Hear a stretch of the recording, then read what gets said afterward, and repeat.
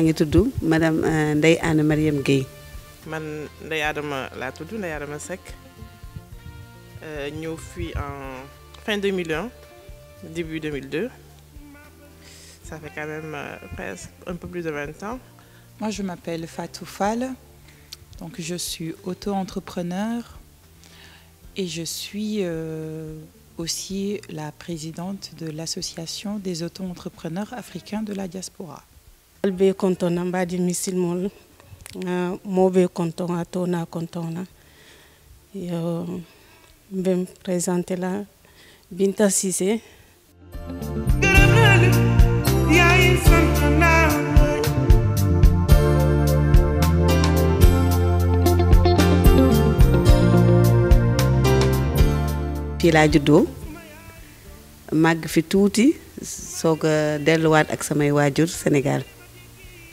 voilà defee sama parcours scolaire. Ba ma dem niveau dem bac am bac. Après def formation en programmation. Et par la suite bi ma marié woo Sénégal laa ñëw ne pourquoi pas ma def ma ñëw en France. Malheureusement j'ai pas trouvé de suite le travail que je voulais. Ils n'acceptaient pas mon diplôme. Et le premier métier qui m'est venu c'était l'hôtesse de caisse et j'ai évolué dans ça.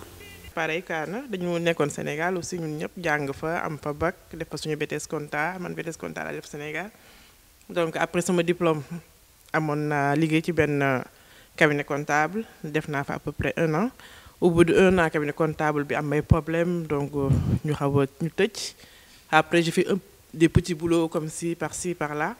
Par la suite je me suis dit pourquoi pas voyager situation bi xawoon compliquée au niveau familial ku xam Sénégal sa papa day teel retraité nga war a jël relève tu peux pas donc du coup finalement je me suis dit pourquoi pas voyager. Comme j'avais déjà une bonne partie de ma famille koo xam ne ñu ngi Bordeaux donc du coup ma ne xaar leen kon ñu tenté xool.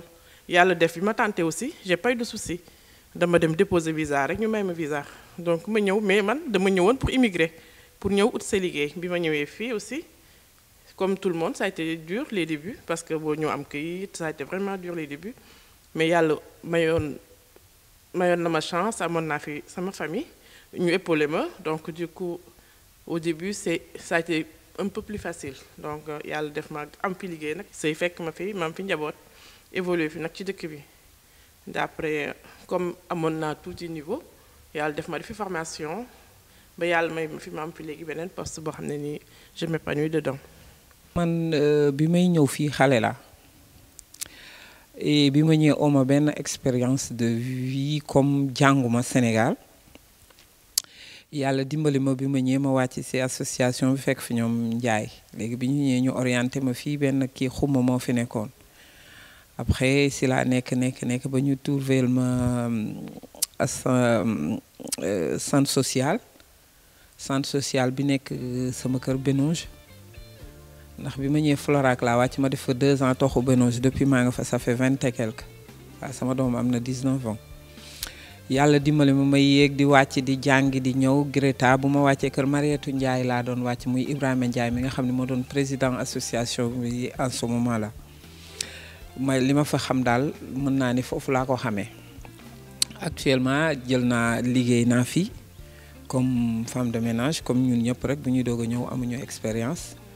yàlla dimbali ma ba tey jii maa ngi yëngu monté naa sama auto entreprise di ci yëngu te loolu yëpp mën naa ne yaatal gu ñu yaatal la. Ndax soo ñëwee fekk ci réew nit ñi di def la même chose loolu ngay def.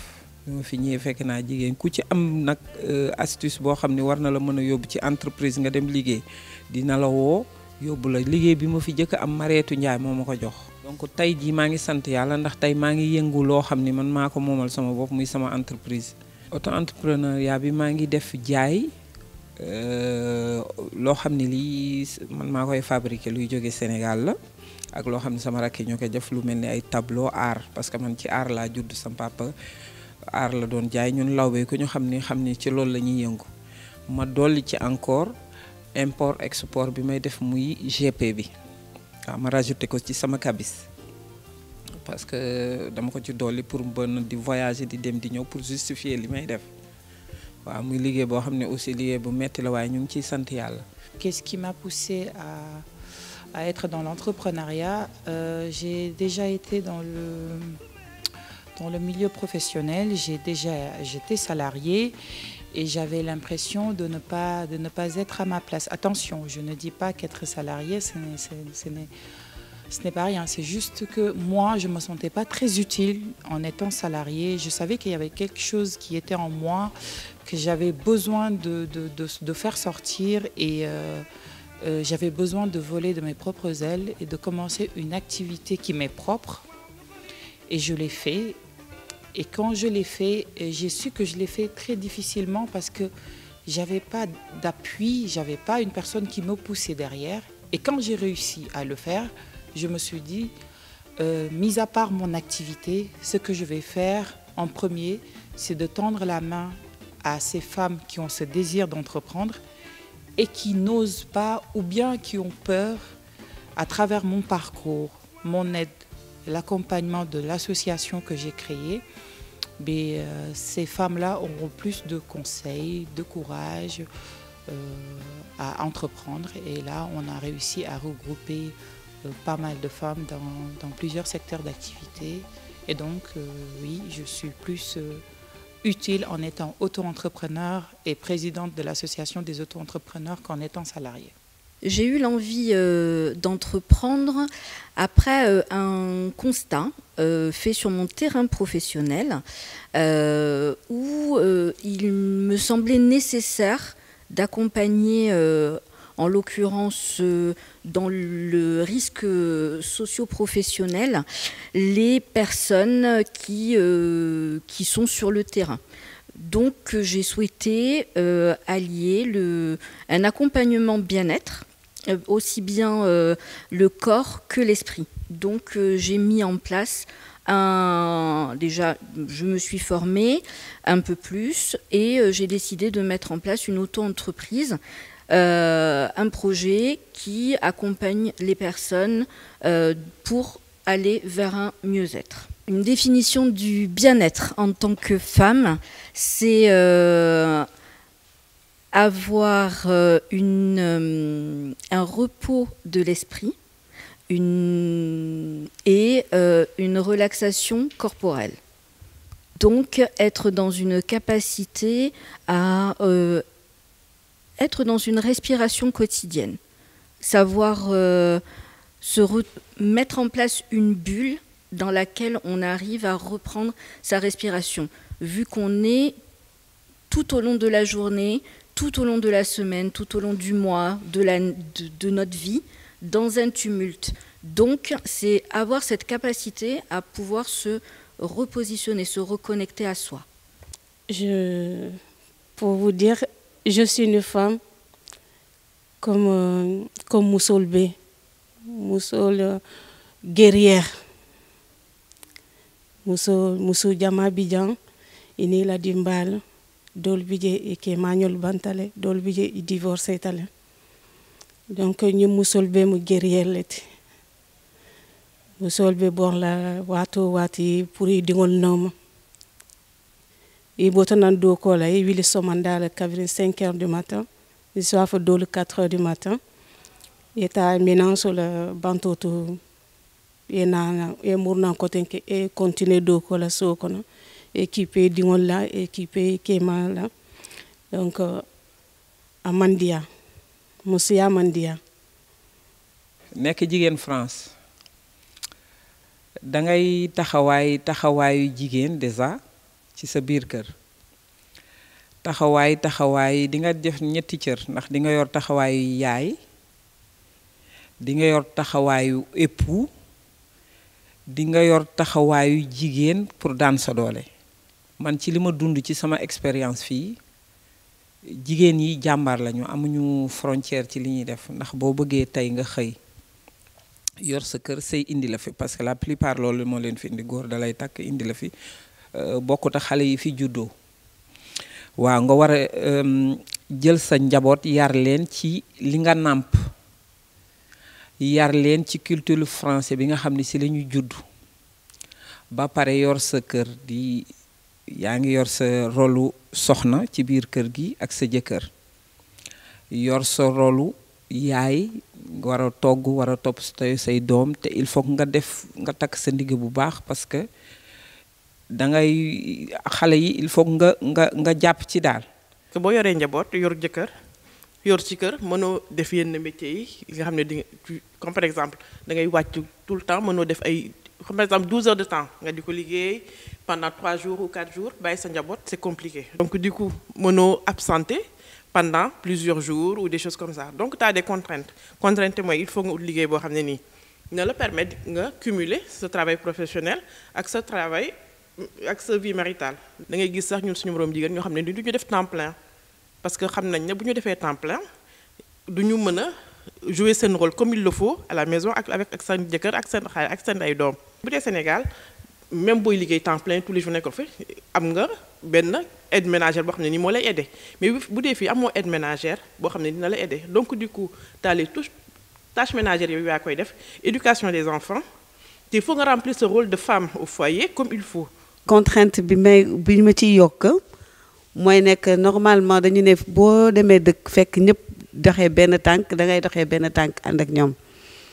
Et que ñun suñu société au Sénégal on nous per on on ne les hommes ne n'aident pas trop la femme dans le foyer. Alors que ici nous on en a besoin en fait. On a besoin que euh, nos maris euh, nos frères euh, prennent le relais xam ne que ñun ñëpp ñoo bokk dañuy liggéey dañuy ut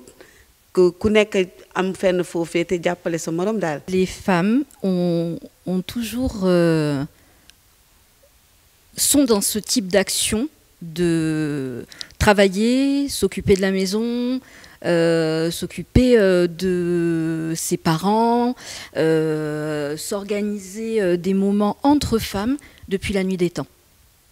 C'est juste que là, nous sommes dans une société plus moderne où, euh, où, les choses sont beaucoup plus segmentées.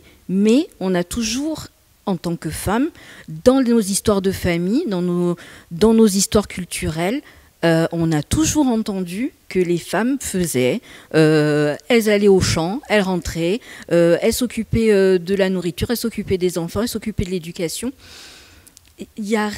On n'a rien, je pense, réinventé on fait juste dans la continuité et avec d'autres faisceaux lumineux et une autre manière de faire. Mais les femmes ont toujours fait. Alors moi, je, n'aurais pas la même réponse parce que euh, je trouve que, en tout cas, euh, personnellement, euh, c'est pas très évident. C'est pas évident de, de allier vie professionnelle et vie familiale.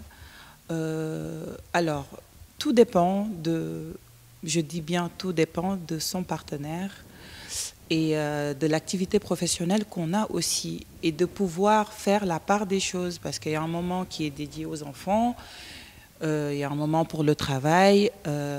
par exemple, moi qui suis dans le domaine de tout ce qui est salon, exposition, quand je prépare un événement, j'ai j'ai l'impression de, de, vraiment être saturée parce que il faut, il faut, il faut faire le, le, le, travail au niveau euh, de mon organisation professionnelle, mais aussi on a des enfants à bas âge qui ont besoin de notre attention, on a, on a un mari, on a une maison à gérer.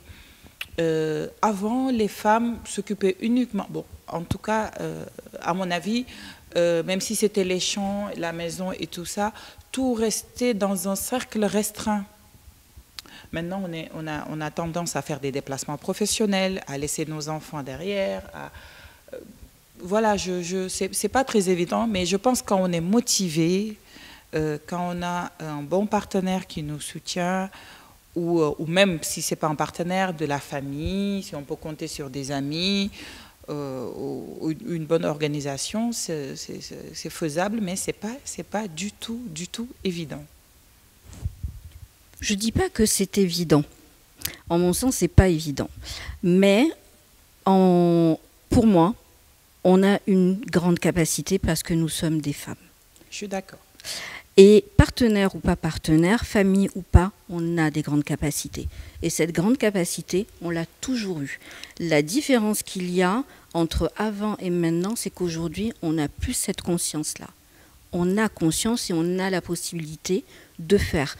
Parce qu'il y a également une grande sororité qui est mise en lumière et qui nous permet de faire. Mais on a toujours fait. On n'a jamais été Même si on a essayé de nous éteindre, hein, on a toujours fait. Et on est amplement capable parce qu'on est des femmes.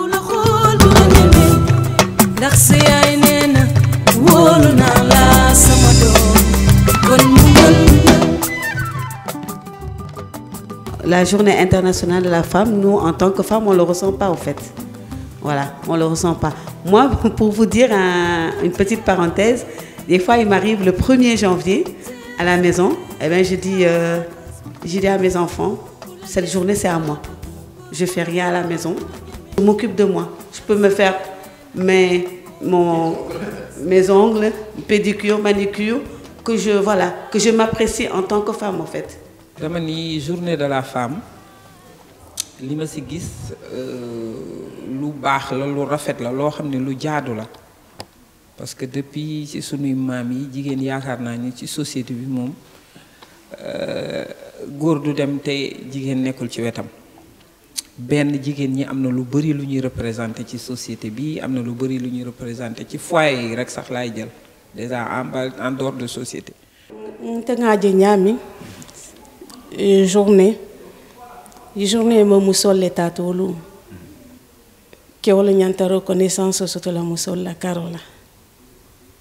la karo la parce que musol mu ke foñandi e dow ko ke bantoto e murna e dow ko ke sokono parce que ni naate niyo be kwari i botanan dow ko la kabirin suba ena e duyle sokono yela wa ñowtara bebe nori jostiro bolo asetol foursetol tout ça dans ton levier de la cuisine. Mais uh, hani be hani se kam fa ñawña ibuka kam fa no diwol kama ni je be tourno e be jel wala. o dam se juso som hande Tout homme qui a une femme doit, à, travers cette journée, se poser et réfléchir. Comment je peux soulager ma femme? Comment je peux prendre le relais quand elle n'est pas là? Comment je peux l'aider dans la maison? Même sur toutes les tâches, un homme doit savoir faire toutes les tâches. Ici en France, un homme doit savoir cuisiner. Un homme doit savoir faire le ménage. Un homme doit savoir laver les toilettes, amener les enfants à l'école. Tout ça parce qu'on est dans, en fait, on est dans un pays qui demande ça. Au Sénégal, tu peux ne pas le faire parce qu'on a toute la famille à côté, on a les parents et tout. Mais ici en France, un homme doit savoir tout faire pour soulager sa femme. Parce que tout le monde se lève le matin, tout le monde va au travail, tout le monde débauche le soir. Un homme qui s'assoit le soir sur le canapé, avoir sa télécommande, ça, c'est pas responsable. Je pense que tout homme doit, à cette journée, prendre conscience et se dire à partir d'aujourd'hui, je vais soulager ma femme, je vais m'impliquer je vais m'impliquer plus dans la vie de couple de chez moi parce que je pense que si tu soulages ta femme, c'est en fait une partie de plaisir pour toi. Parce qu'une femme qui, est soulagée, qui a moins de responsabilités à la maison, va s'occuper plus de son mari, aura plus de temps pour son mari. Et je pense que tout homme doit œuvrer pour que la vie de couple aille au mieux. Si toutefois vous nous aidez à faire certaines choses, on aura le temps d'aller au cinéma ensemble. On aura le temps de pouvoir vivre notre vie de couple comme, il se doit. On pourra aller ensemble, faire des choses ensemble, faire des activités ensemble. Mais comment vous pouvez nous laisser faire tout à la maison et vouloir qu'après, qu'on respecte la vie conjugale? J'aimerais acquérir en termes de droit. euh, en fait, c'est pas acquérir en termes de droit. C'est avoir, euh, avoir à ne plus parler de droit. Qu'on ait des de manière équitable, tout simplement. Qu'on ne soit pas euh, à encore parler des droits, euh, qu'on n'ait pas peur de sortir dans la rue euh, parce qu'on on, on sera agressé, qu'il y ait des, droits ouverts lorsqu'on est victime, qu'on ait des droits ouverts lorsqu'on a des problématiques professionnelles, lorsqu'on a, lorsqu'on qu'on plus une parole discréditée. C'est ça que j'aimerais, qu'on ait euh, une place totale et entière dans la société, ici, là-bas, euh, ailleurs, partout, mais qu'on soit considéré dans notre genre.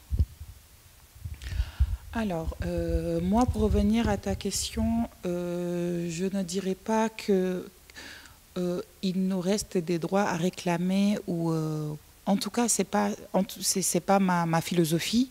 Moi, c'est pas des droits, c'est juste des choses normales que toute personne a droit. C'est-à-dire, moi, je, voulais faire allusion aussi aux différences des salaires, elle en a parlé. Je voulais aussi euh, parler des métiers.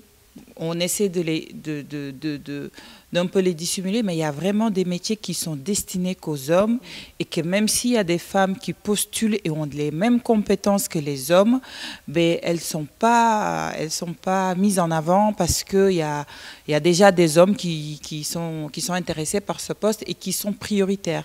Ce n'est pas marqué dans les annonces, ce n'est pas marqué parce qu'ils savent que c'est discriminatoire, mais on le ressent aux entretiens d'embauche. Il y a d'autres choses. On peut être une femme avec ses diplômes. Euh, euh, expérimenter et tout ça, si on est dans une entreprise et qu'on fait des enfants, euh, à chaque fois on part en congé maternité, mais on voit que cette femme a vraiment des difficultés à évoluer dans cette entreprise. Pourquoi? Parce qu'on ne lui fait pas trop confiance, parce qu'elle a tendance à prendre peut-être chaque deux ans un congé maternité. Pourquoi pourquoi pas aussi? Ni ñu xool nan la koy gérer parce que jigéen toll na foofu léegi am capacité bi. Waaw njàng mi mu ngi fii motivation yi mu ngi fii te am expérience bi aussi. Ndax tey boo demee Sénégal boo xoolee jigéen ñi li ñu fay def ci mbay mi ci partout ils sont ils sont partout. J'ai été assistante sociale dans le cadre des violences conjugales dans une association qui accompagne les femmes et les enfants victimes de violences conjugales une femme victime euh, n'a pas les mêmes droits. Parce qu'il euh, est compliqué pour elle de pouvoir rebondir sur le plan financier, sur le plan du logement, sur, euh, sur énormément de plans, le plan professionnel et autres. Même si il y a des structures qui existent et qui vont l'aider, elle n'aura pas les mêmes chances et elle n'aura pas les mêmes possibilités. Donc, il y a une preuve que les femmes n'ont pas encore les mêmes droits. Si elles avaient les mêmes droits, ces femmes-là n'auraient pas de difficultés. Euh, si nous avions également les mêmes droits, aujourd'hui, nous ne serions pas des associations X et Y d'entrepreneuses. J'ai une association, tu as une association, j'ai une association de praticiennes du bien-être qui s'appelle le Collectif Thérapie, qui est une association qui aide les autres femmes entrepreneuses.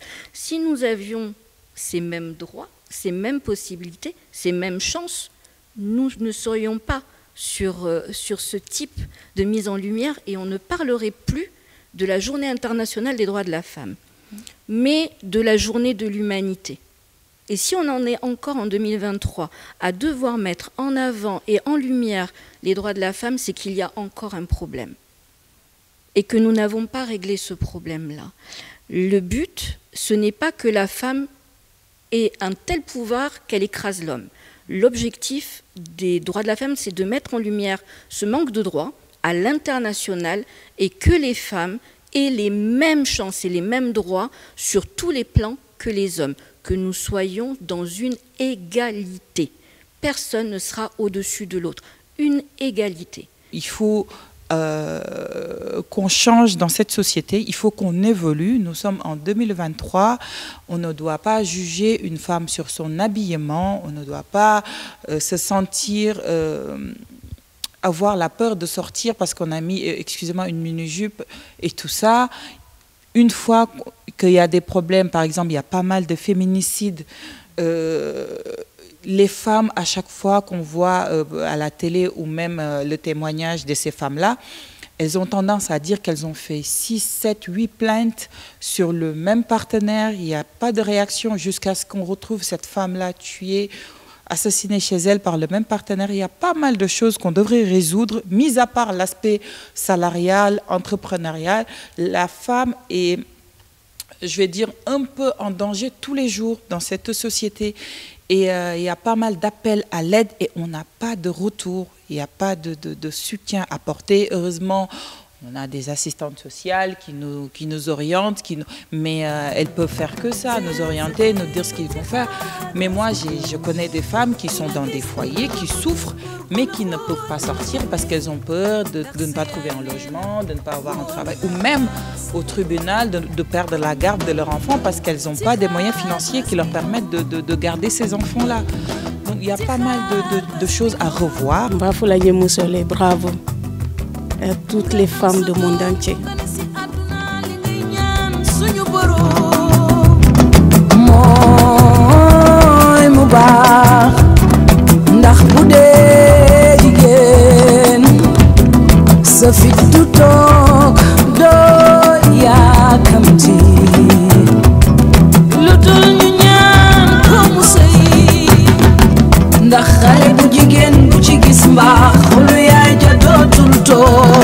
retard